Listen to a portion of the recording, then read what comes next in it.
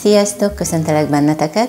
Hamarosan itt az év vége, és a mai napon egy olyan recepttel készültem, ami névben 100%-ban megegyezik az évvégi ünneppel, ez a szilveszteri apró sütemény. Annyit kell tudni erről az igazi retro süteményről, hogy érdemes előtte való nap elkészíteni, és akkor másnapra a lekváros tölteléktől kapunk majd egy igen pihe-puha könnyű süteményt. Kikészítettem a hozzávalókat, meglátjátok, hogy nagyon könnyű az összeállítása, lássunk is hozzá. 500 g finom búzalisztben elmorzsolok 200 g sertészsírt, egyébként ez a sütemény így teljesen tejmentes lesz. A további hozzávaló 250 g kristálycukor, két csomag vaníliás cukor, egy csomag sütőpor, 12 g, és két egész tojás. Ezekből, az összetevőkből gyorsan tésztát gyúrok. Elfelezem a tésztát,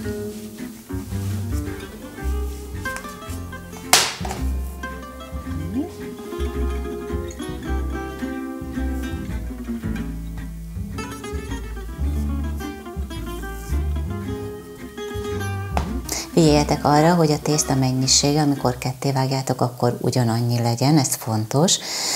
Az egyikhez hozzáadok egy evőkanál lisztet, a másik részhez pedig egy evőkanál cukrozatlan kakaóport. Újra gyúrom a tésztát. Ezzel a tésztával egy kicsit óvatosan kell bánni.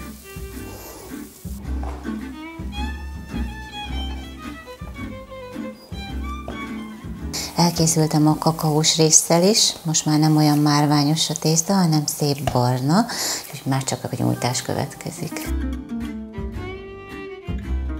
Két-három milliméter vastagságúra kinyújtom a tésztát.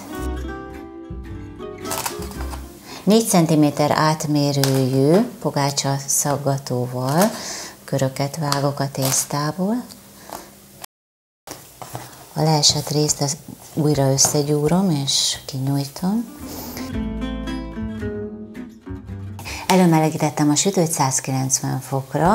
A sütési ideje a korongoknak kb. 12-15 perc lesz. Amíg sül a tészta, addig gyorsan ki tudjuk nyújtani a másik adag tésztát is.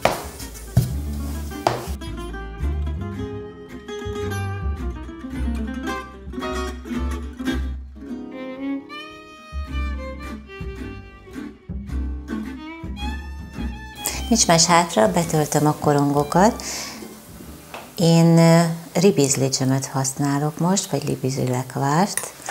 Annál finomabb, minél pikánsabb ízű lekvárt használunk. Hm.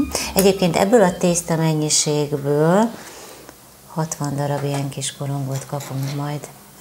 Tehát jó kiadó süteményről van szó. Szilveszteri apró süteménnyel szeretnék nektek sikeres és nagyon boldog új esztendőt kívánni.